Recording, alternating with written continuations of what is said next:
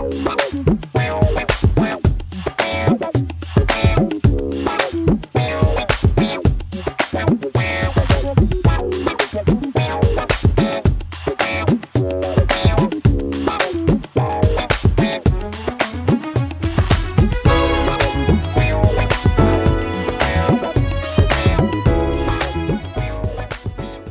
Good morning. Good morning, FCC, our online faith family, and to all of you who are watching from wherever you might be watching from. Thank you for joining us today. Good morning to you and welcome to church. Listen, I sincerely mean it when I say that I hope you've had a good week. We are believing God at FCC. If you're connected with us, we're believing God that from week to week, that good things are going to come our way, that we're expecting favor to show up. We're expecting preferential treatment for God to bless us in ways that we cannot explain because we are His children. We have been redeemed from the curse and we are under the blessing of our father Abraham. Amen. So I hope you've had a good week. Listen, we've got a lot to cover today, and uh, so I want to get to the word as quickly as I possibly can. Last week, we introduced our new series, What It Means to Be Anti Christ. We prove with scripture that the word Christ is not Jesus's last name. The word Christ in the Greek is Christos, and the word Christ in Greek means the anointed one and his anointing. And so to be anti-Christ is to be anti-anointing.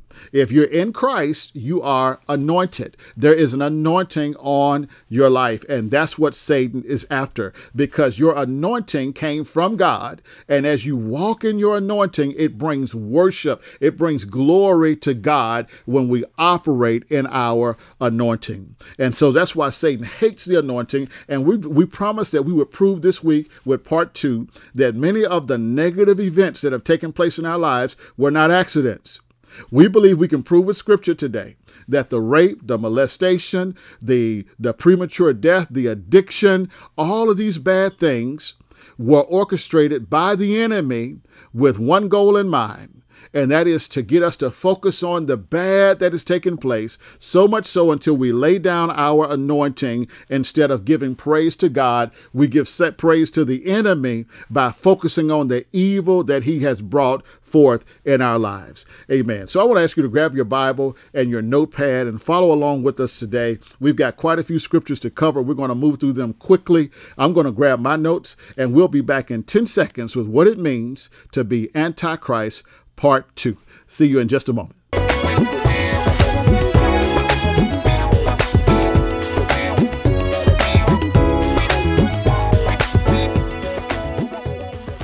Amen, Faith Family. Welcome back. Let's get right into the word as we have so much to cover today. And I'm excited as I believe today's message is going to really set us free. In 2 Corinthians chapter 2, I believe it is, around verse 11, the scripture says that Satan should not be able to outwit us. It says that we should not be ignorant of Satan's devices. And I believe that as we study part two today and we begin to understand with clarity what's going on behind the scenes, it will allow us to gain gain the advantage over the enemy instead of the enemy having the advantage over us. Amen. So let's get right into the word. Before we get started, I want to give a definition today. A definition de facto. De facto.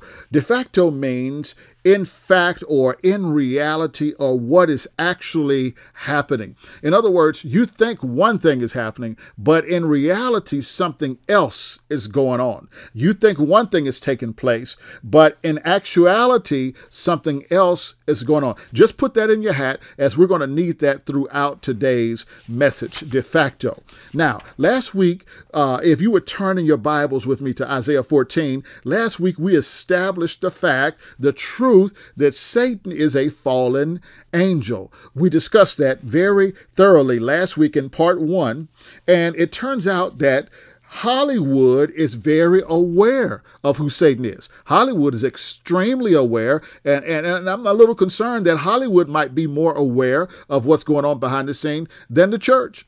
Than the church. I'm, I'm pro church, so I'm not critical of the church. I just am amazed by what I found as I searched for fallen angel online, how much content was online regarding fallen angels. If you look at your screen, J.L. Myers, as an author, has an entire series, very popular series on the fallen angels. As I continued to search, it was just more and more content. I looked and there was even in Korea and, and over in uh, Japan, they had series about the fallen angel. Here, Chuck Mayer has uh, a series about Lucifer, the fallen angel. In the cartoons, in the cartoons, they have a cartoon with a series about fallen angels. In yoga, in yoga, they have a yoga pose called the fallen angel. So it turns out that secular society is extremely aware of who Satan is. They're aware of his presence. Satan has been on earth a long time, and he's here, he's on the earth,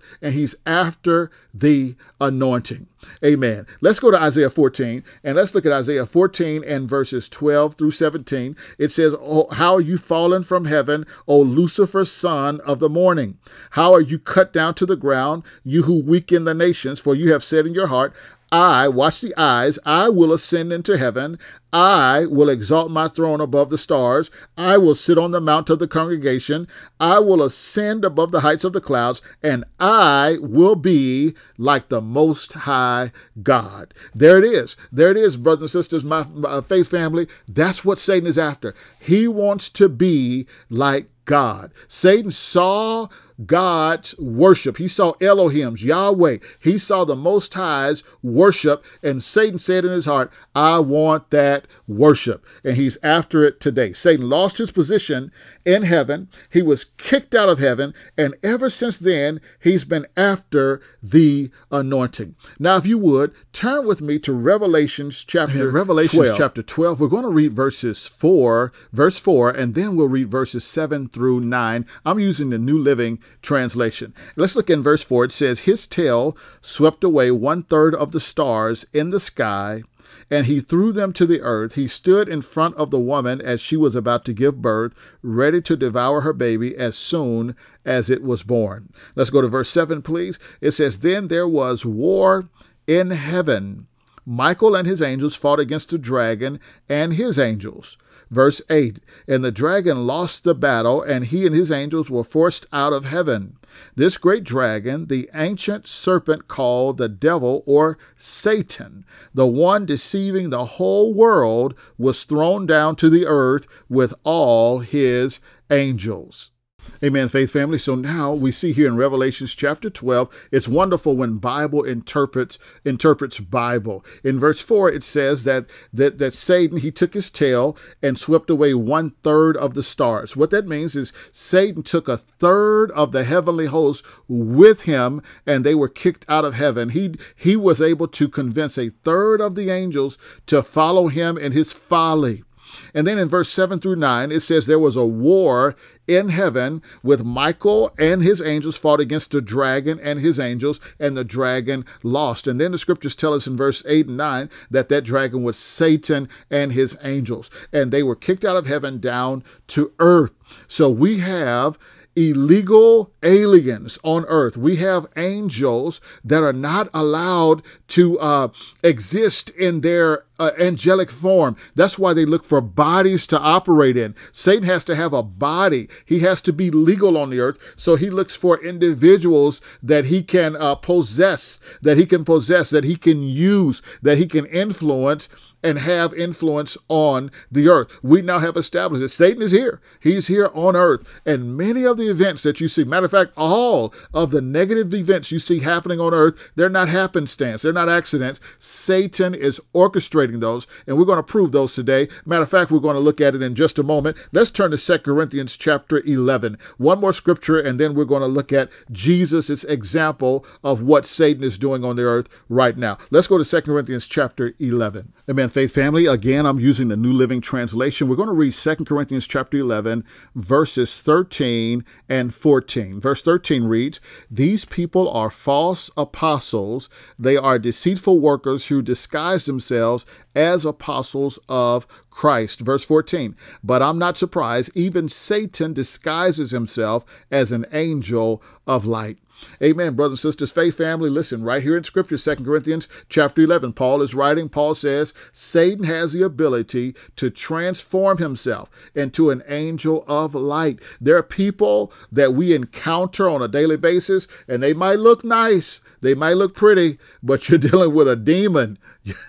You're dealing with a demon. Amen. So listen, now we have established with Scripture that Satan and other angels were kicked out of heaven down to earth and that Satan is now looking for a way to operate. So he's he has to operate through a legal vessel. So he looks for people to operate through or to influence to operate here in the earth. We've also established that Satan was stripped of his anointing once he was kicked out of heaven. He was over the worship. He was the anointed cherub and he has lost that anointing for ever. And we've also proved that Satan is seeking to regain that worship that he has lost any way he can. We're going to look at that right now. Let's go to Matthew chapter 4, please. Matthew chapter 4. Faith family, I'm using the New King James Version to read this passage of Scripture. Let's begin at verse 1. Matthew 4, verse 1. Then Jesus was led by the Spirit into the wilderness to be tempted there by the devil. For 40 days and 40 nights he fasted and became very hungry. During that time, the devil came and said to him, If you are the Son of God, tell these stones to become loaves of bread. But Jesus told him, No. The scriptures say people do not live by bread alone, but by every word that comes from the mouth of God. Then the devil took him to the holy city Jerusalem, to the highest point of the temple, and said, If you're the Son of God, jump off. For the scriptures say, He will order His angels to protect you and they will hold you up with their hands so you won't even hurt your foot on a stone. Verse 7 Jesus responded, The scriptures also say, You must not test the Lord your God. Next, the devil took him to the peak of a very high mountain and showed him all the kingdoms of the world and their glory. I will give it all to you, he said, if you will kneel down, watch this face, family, and worship me. Verse 10 Jesus replied, Get out of here, Satan. Jesus told him, For the scriptures say, You must worship the Lord your God and serve only him. Then the devil went away, and angels came and took care of Jesus. Amen, faith family. Can you just say, wow, listen, this fallen angel that we've read about that was kicked out of heaven, we're reading about this fallen angel tempting or had the nerve to come and try and deceive Jesus himself. Now, you know, if he'll try Jesus, he will try us. He'll try you and I. Amen. Satan came to Jesus and he, look, look at what he tried to do to get Jesus to forfeit his anointing. He took the word of God and tried to twist the word.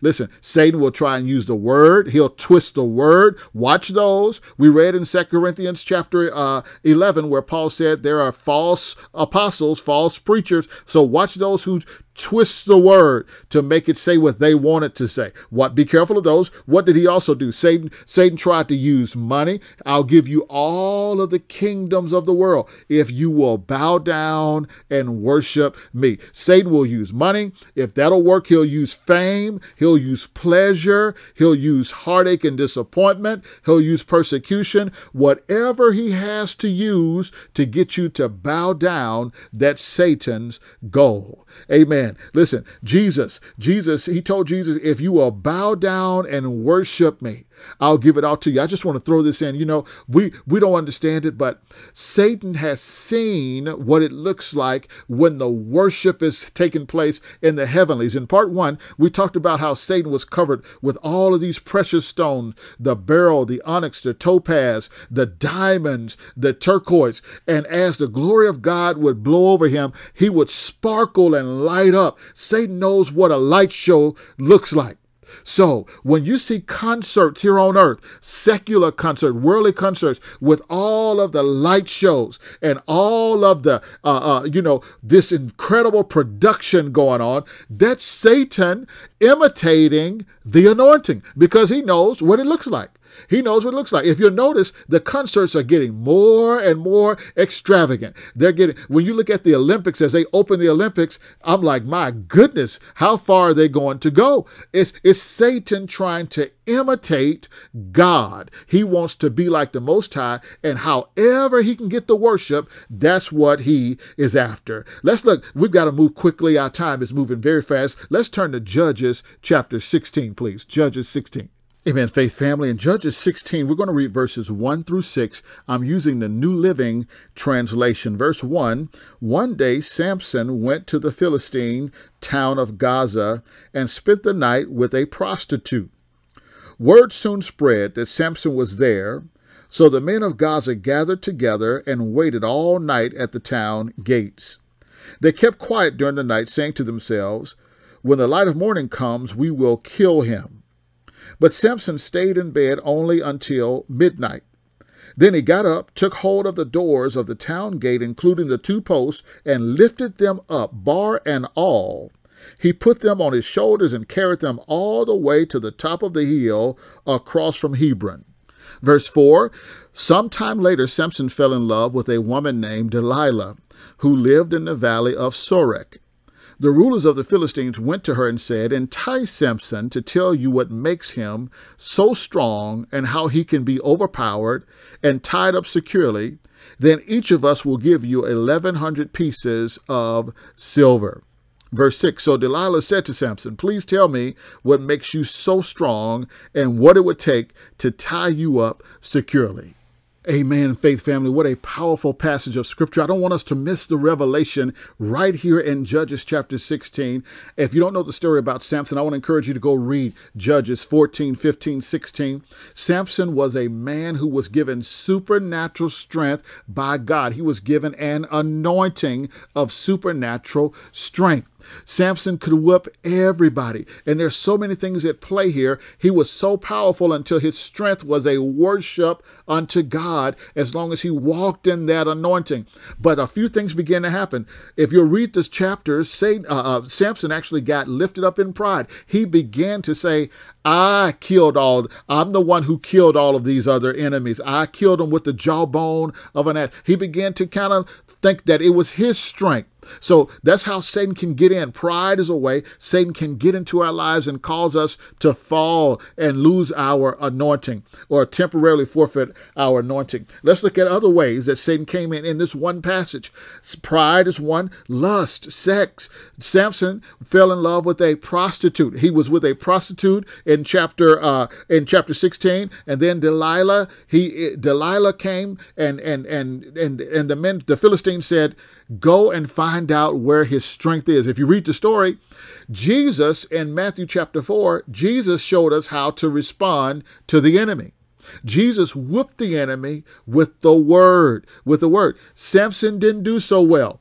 Samson eventually he eventually gave in to Delilah and told her where his anointing was. The word strength in the Hebrew there is koach, and it's it's a type of anointing that God gave him. And Satan eventually revealed his secret to Delilah, and and, and he eventually lost his anointing. He died. Samson ended up dying a death that he didn't have to die because he fell for Satan's trick. But I want you to see that it was Satan. They told Delilah, We will give you 1,100 pieces of silver if you'll go find out where his anointing is.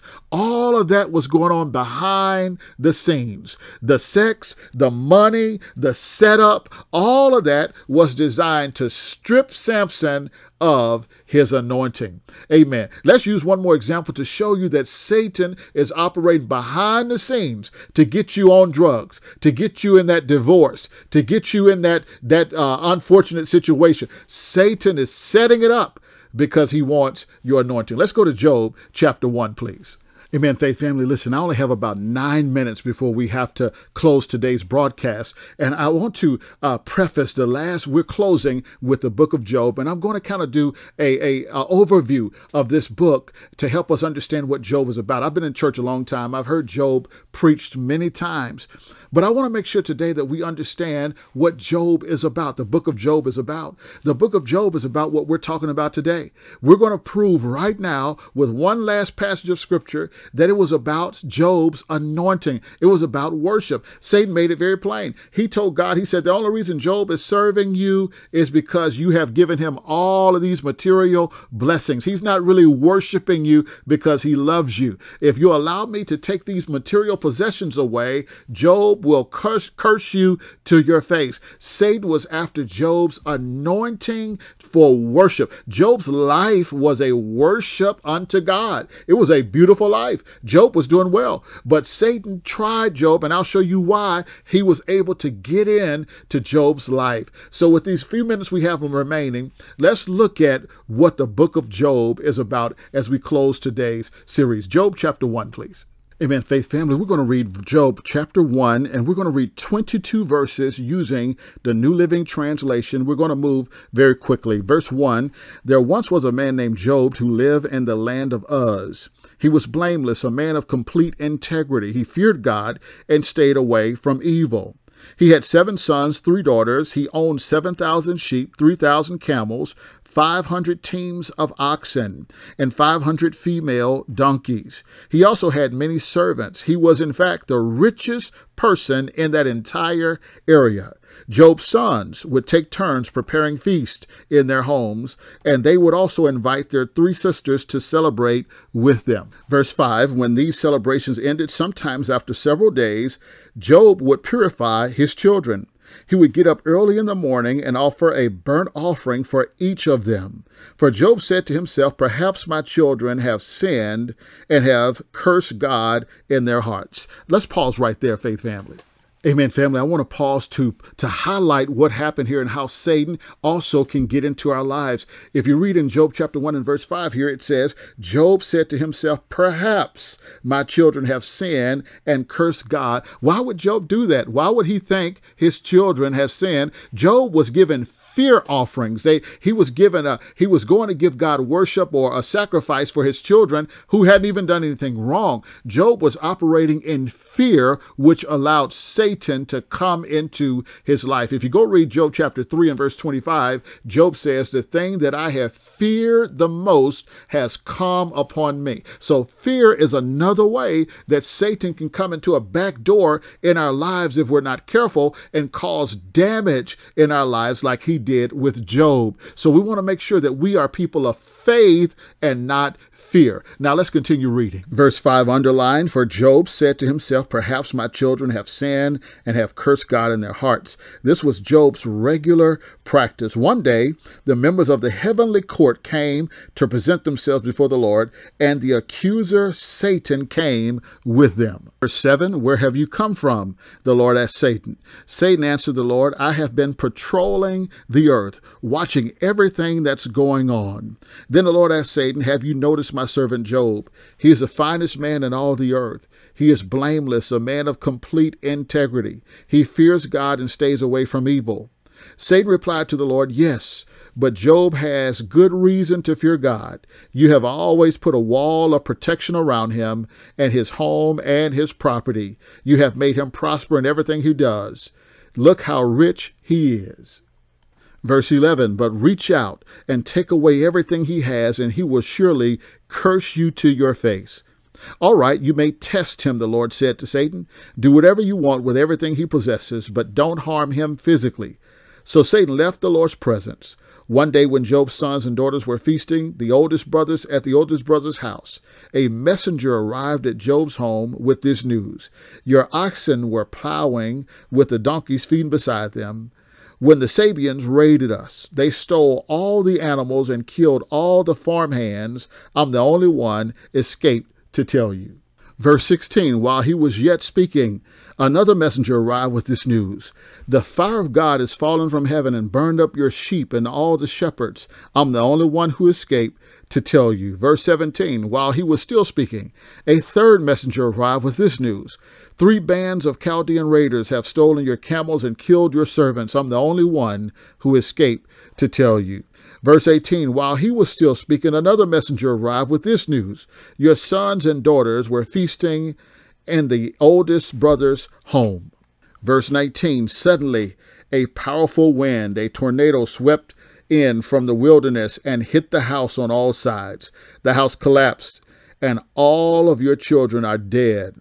I'm the only one who escaped to tell you. Verse 20 Job stood up and tore his robe in grief. Then he shaved his head and fell to the ground to worship. He said, I came naked out of my mother's womb. I will be naked when I leave. The Lord give me what I had, gave me what I had, and the Lord has taken it away. Praise the name of the Lord. In all of this, Job did not sin by blaming God.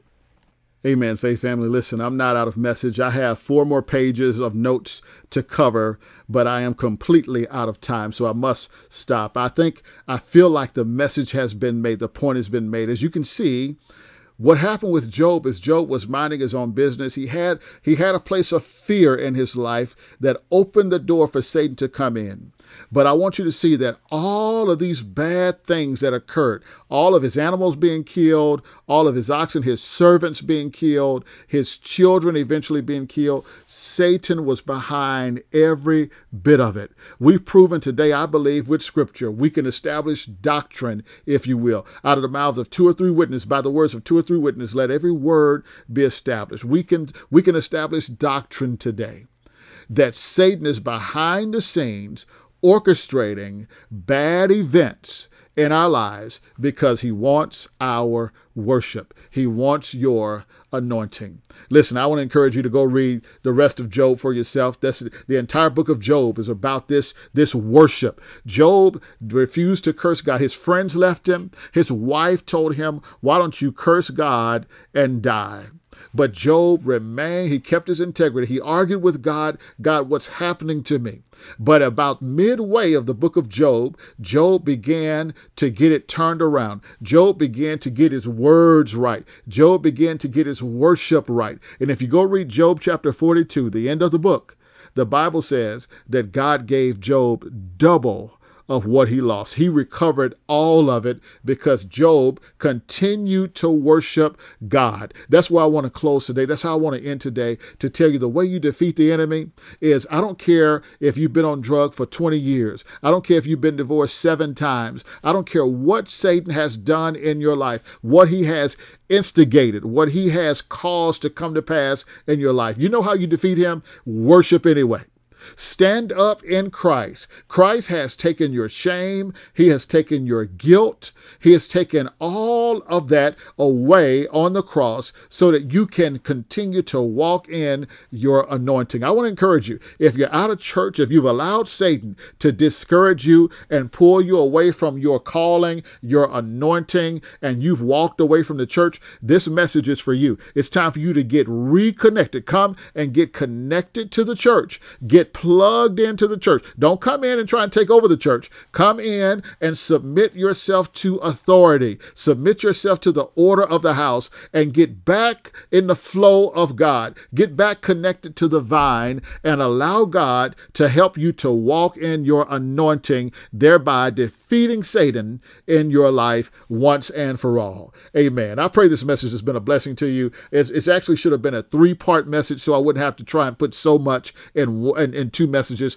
uh, but it's okay. I believe God has said what he needed to say through this message. And I pray you receive the revelation of this message today. Amen. Listen, Pastor Samantha Quiroz will be ministering, our associate pastor. She'll be with us next week. I'm looking forward to it. Pastor Sam always does a tremendous job. So she'll be ministering to us next week. And uh, listen, get your anointing active. Step out of what Satan has done to you and, and step back into your anointing. Have a great week in the Lord and we'll see you next week. God of love and mercy,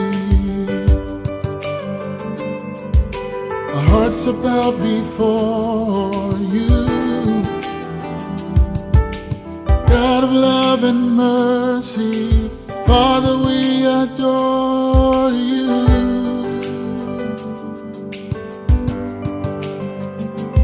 Until day breaks and shadows fade away, we will run to the mountain of praise, and with patient heart we'll stand and say, We adore you.